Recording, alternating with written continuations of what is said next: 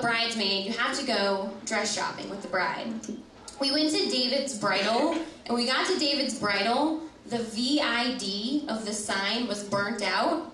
So when you looked at it from a distance, it just looked like it said, Das Bridal. and